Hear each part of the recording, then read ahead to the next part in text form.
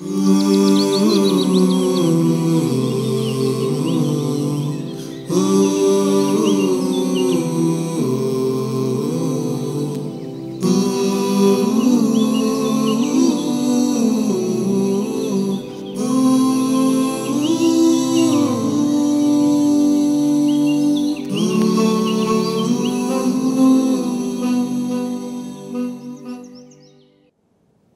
Bless Friday with उस्ताजा Nikhat Hashmi एक दफ़ा फिर इस ट्रांसमिशन में आपको खुश आमदीद अलहमदिल्ला आज का हमारा मौजू है कि बहू भी किसी की बेटी है और यकीनन एक नशस्त काफ़ी नहीं है इस मौजू को खोलने के लिए भी और फिर हल तो तलाश आहिस्ता आहिस्ता होते हैं।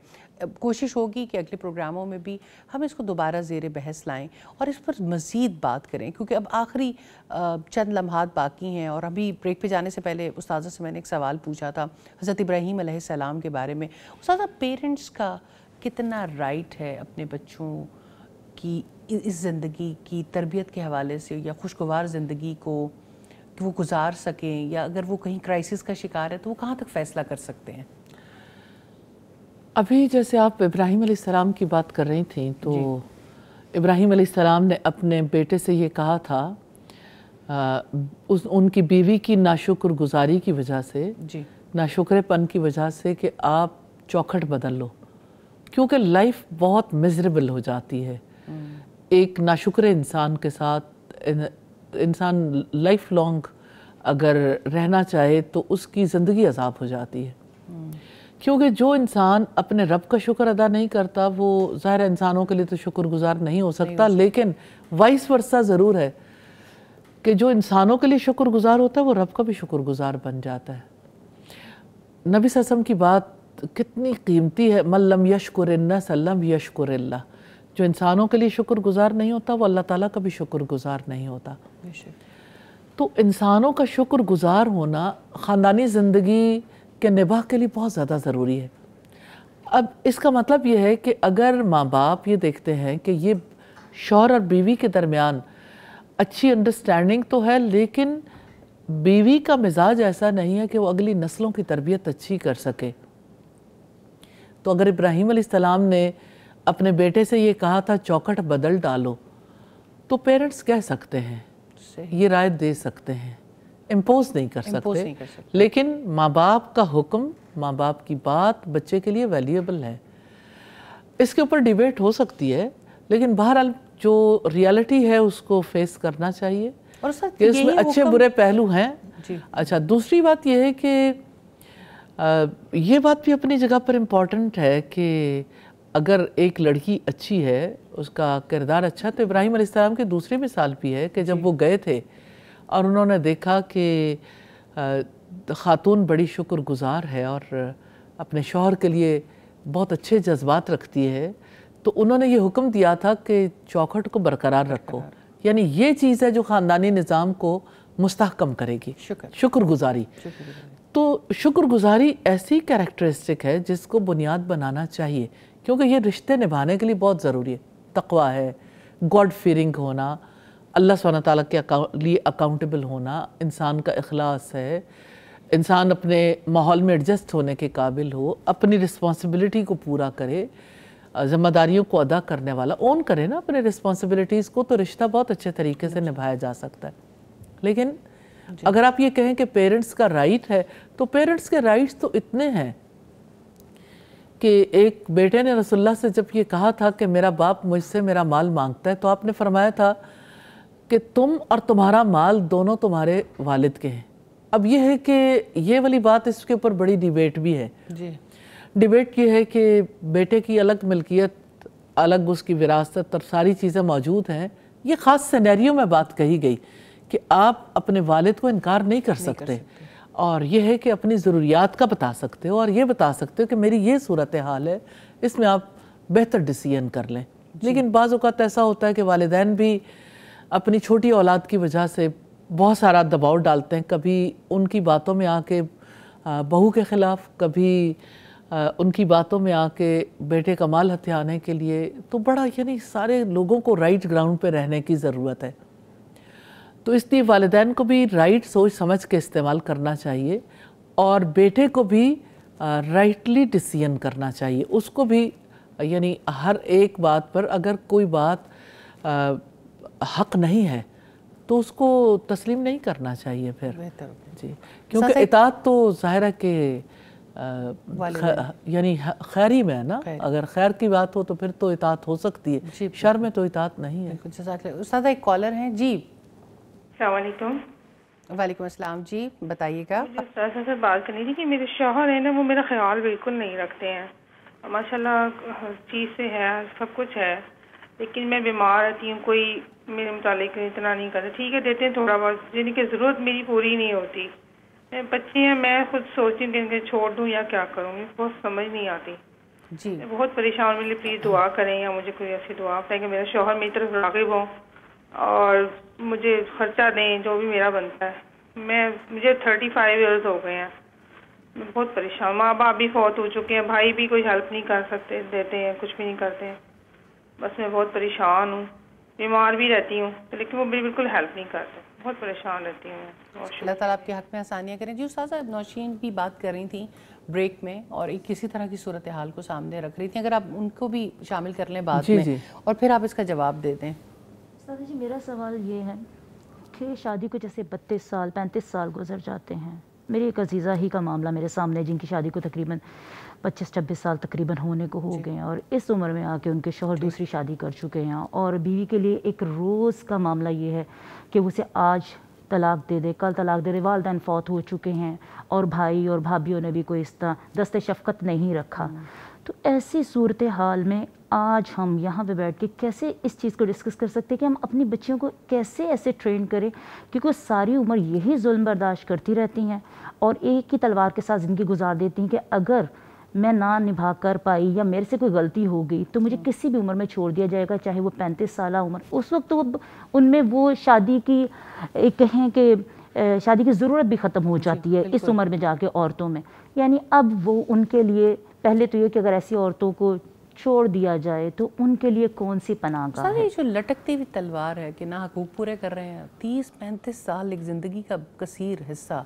फिर इसी तरह से ये पच्चीस छब्बीस साल का एक वाक़ ये भी तो एक बहुत मजरेबल सिचुएशन है। इस सूरत हाल में आ, क्या हल है फिर? देखिए असल में तो हल वही है जो अल्लाह सुबहान ताला ने दिया और जिसको नबी सल्लल्लाहु अलैहि वसल्लम ने अपनी ज़िंदगी की मिसाल से और अपने तालीमात से हमारे सामने रखा है कि यानी ऐसा हो सकता है कि कोई औरत जो है वो किसी शौर के दिल से उतर जाए। हम्म। ऐसा हो सकता है कि वो और ऐसा वो कर सकता है कि उसे तलाक दे दे। बीवी की अगर यानी सूरत हाल के मुताबिक वो देखती है कि निबाह नहीं कर सकती वो खुला ले सकती है। तो आप इसे एक ख़ानदान के नहीं वसी सिनेरियो में अगर देखें तो ये यानी किसी की किसी का दूसरी शादी कर लेना ये कोई ऐब की बात नहीं है। शादी कर लेना ऐब की बात नहीं है। हाँ ये ऐब की बात है नौशीन के जैसे आपने कहा कि दूसरी बीवी यानी एक बीवी लाए हैं तो उसके बाद पहली बीवी के लिए। एक इनसिक्योरिटी का माहौल पैदा करना ये दुरुस्त नहीं है। ये दुरुस्त नहीं है। और यह है कि अदल करना जो है ना दूसरी बीवी लाने के लिए अदल करना ज़रूरी है। और अदल की शर्त ही अल्लाह सुबहाना ताला ने रखी है। और क़यामत के दिन बड़ा बुरा अंजाम होगा ऐसे लोगों का जो अदल नहीं कर सकते जो अपनी बीवी को लटकता हुआ छोड़ और देते। दूसरी तरफ़ उस्ताद हमें अपनी बच्चियों की तरबियत में भी तो ऐसी चीज़ें शामिल करनी चाहिए कि वो इतना अल्लाह ना करे कि उनकी ज़िंदगी में ऐसा वक्त आए लेकिन वो जब ऐसा कोई वक्त आए तो वो इतना बेबस तो फील ना करें कि ज़िंदगी के 25-30 साल इस सशक में गुजारने के बाद भी वो यही सोच रही है कि अब कहाँ जाएँ। गजाला जी ने भी हमें ज्वाइन किया है अब आखिरी चंद लम्हात है। कैसी रही ज़िंदगी? एज अ बहू क्या आ, सीखा? जजाकल्ला फैज़ा जी आपके यहाँ इनवाइट करने का जजाकल्ला और जहाँ तक ज़िंदगी गुजारने का तरीका है वो सताईस साल अलहमदिल्ला मेरी शादी को हो गई और बीस साल जो है वो अलहमदिल्ला मैंने जॉइंट फैमिली में गुजारे। हैं अच्छा। और लेकिन ये था कि मेरी सास हयात नहीं थी सुसर थे अलहमदिल्ला और उनके साथ मेरा मामला ऐसा था कि जैसे आ, वो मेरे लाड के साथ मुझे छोटी बेटी का दर्जा देते थे अलहमदिल्ला मैं बड़े इसमें ब्लेस्ड रही। लेकिन ये था कि कुछ तरबियत वालदा की तरफ़ से भी थी। उन्होंने मुझे शुरू में ये बताया कि आपने जब वहाँ की बात करनी जाना है तो ये नहीं कहना उस घर की ये बात। हम्म। पहले आपने बताना कि हमारे घर की ये बात। तो उससे ये होता था अपनाइत का एहसास होता था फिर मुझे सोच आती थी कि जो बात मैं करूँगी तो मेरी अपने घर की बात है। तो फिर उससे मैं थोड़ा स्टॉप हो जाती थी। इस तरह से करते वो रिश्ते भी अलहमदिल्ला अपने हो जाते हैं। और एक बात जो आ, उस वक़्त इतना फील नहीं होता कुछ रवैये में बुरे भी लगते हैं। हम अंदर से कुड़ते भी हैं लेकिन फिर भी हम करने पे मजबूर हो जाते हैं कुछ पाँच दफ़ा। तो लेकिन जब मैंने अलहमदिल्ला कुरान पढ़ा तो ये सीखा कि अल्लाह की रज़ा के लिए खातिर जब हम करते हैं ना फिर सारा कुछ आसान हो जाता है अल्हम्दुलिल्लाह। जी बिल्कुल। फिर ये सारा सिलसिला फिर उसके बाद जितना टाइम मुझे कभी तकलीफ़ भी इतनी फील फील नहीं हुई। मुझे यही लगा अल्लाह की रहमत मेरे साथ है अलहमदिल्ला और ये बच्चियों के लिए भी आगे मैं यही देखूँगी कि अभी हम एक और भी बात मुझे साजा की याद आ गई कि जब बच्ची की शादी होती है तो जब हम उसको एग्जांपल देते हैं एक पेंसिल से। अगर जब वो पेंसिल है नहीं जब उसने काम शुरू करना है तो उसको हम शॉप तो करेंगे ना? शॉप जब होती है थोड़ी तकलीफ़ भी होगी। हाँ। लेकिन वो पीछे फिर अगर जब हम माओ को बताते हैं माओ से कहाँ बर्दाश्त होती है ये हाँ। चीज़? तो इसलिए वो थोड़ी सी जो शार्पनेस के लिए ज़रूरत होती है उसको अगर हम सब्र के साथ गुजार लें तो फिर तो लिखना है पेंसिल ने। तो ये जो चीज़ें हैं ना ये मुझे अलहमदिल्ला बड़ा फ़ायदा दे गई। तो पहले भी जो उनके साथ मामला थे अच्छे अलहमदिल्ला रहे। उसकी वजह ये थी कि मेरे जो ससुराल वाले उन्होंने हमेशा मेरी फैमिली को वैल्यूबल किया उनको वैल्यू दी। तो जिसकी वजह से मेरे अंदर हौसला था तो मैं उनको वैल्यू करती थी अलहमदिल्ला बारक अल्लाह ताला बरकत दे। जी उस आखिरी मिनट हम चाहेंगे कि एक इस पूरी नशस्त का कोई क्रक्स आप बयान करें, ताकि इन जब हम अगली दफ़ा मिलें तो एक उस सोच के साथ उसको लेकर अपनी ज़िंदगी में चलें। बहू भी किसी की बेटी है। अल्लाह करे, अल्लाह सुबहाना ताला मुमकिन बना दें कि ये सोसाइटी इस बात को समझ जाए। जैसे अपनी बेटी से मोहब्बत है अपनी बहू से भी वैसे ही मोहब्बत करके देखिए। अल्लाह सुबहाना ताला अजर ज़रूर देंगे, अगरचे ये बात, ये काम बराबर ना हो। दुनिया में अगर इसका रिज़ल्ट ना भी निकला, अल्लाह सुबहाना ताला के यहाँ ज़रूर रिज़ल्ट निकलेगा। दूसरी बात ये कि ख़ानदान ने, ख़ानदान बनाना और ख़ानदानी ताल्लुक़ात निभाना तभी मुमकिन है जब इंसान का एक ख़ास माइंड सेट हो। और ये माइंड सेट एजुकेशन से बनता है।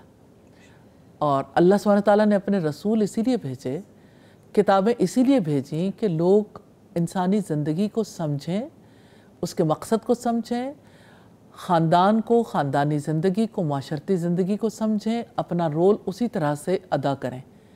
ये जो कंडीशनड माइंड सेट है ना, जो कुछ देखा, जो सुना, जो कुछ अब तजर्बात में शामिल हो गया, उसी को हक समझना इसे डीकंडीशनड करना पड़ेगा। अगर हालात की असलाह चाहते हैं तो असलाह इसी तरह से मुमकिन है। और हर एक को ज़रूर देखना है कि हम अल्लाह ताला के आगे जवाब दें। हैं नबी सल्लल्लाहु अलैहि वसल्लम तीन आयात ख़ुतब निकाह के मौके पर तिलावत किया करते थे। तीनों में एक बात कॉमन है, तकवा, कि अल्लाह का तकवा इख्तियार करो। तकवा क्या है? अल्लाह सुबहाना ताला से उसके अहकाम की इतात पर सवाब की उम्मीद रखना और उसके अजाब के खौफ से उसके रोके से रुक जाना। तो जुल्म से रुक जाएँ, हक़ की इतात कर लें। अल्लाह सुबहाना ताला अपनी ज़िंदगी भी, ख़ानदानों की, माशरती ज़िंदगी भी आसान कर देगा इन ताला जो रोल हम दुनिया में निभाएँगे, उसका बदला ज़रूर पाएँगे। इसलिए उस बदले पर नज़र रखिए कि आज के किए का कल क्या बदला मिलने वाला है? और दुनिया की ज़िंदगी में अगर कोई कहीं नाकाम भी रहता है बज़ाहिर तो अल्लाह के यहाँ वो नाकाम नहीं है। बहुत लोग मिजरेबल कंडीशन में रहेंगे बहुत लोग खुशगवार ज़िंदगी गुजार के चले जाएँगे लेकिन असल बात वो है जो अल्लाह सुबहाना ताला का हुक्म है कि अगर नेमत मिली है शुक्र अदा करें। अगर गम मिला है सदमा है सब्र करें और अजर पाएँ। नबी सल्लल्लाहु अलैहि वसल्लम ने बहुत ही खूबसूरत बात कही। आपने फरमाया, मोमिन का मामला भी अजीब है। जब उसे नेमत मिलती है, वो शुक्र अदा करता है, अजर पाता है। और जब उस पर मुसीबत आती है, वो सब्र करता है, अजर पाता है। अल्लाह सुबहाना ताला हमें शुक्र और सब्र वाली ज़िंदगी नसीब करे और अपने ख़ानदानों में इसको रवाज देने की तोफ़ी अता फ़रमाए, हमें बामल मुसलमान बनने की तोफ़ी अता फ़रमाए। आमीन सोम खैर उस्ताज़ा एक दफ़ा फिर आपका बहुत शुक्रिया और हमारे मेहमानों का बहुत शुक्रिया। इन इसी तरह से गुफ्तु होती रही और इंसान ऐसी इलमी मजालस में बैठता रहे तो अपने मामला की असलाह ज़रूर होती है। अगले जुमे किसी और मौजू के साथ आपकी खदमत में हाजिर होंगे। जब तक के लिए इजाज़त दीजिए। असल वरहमल वर्का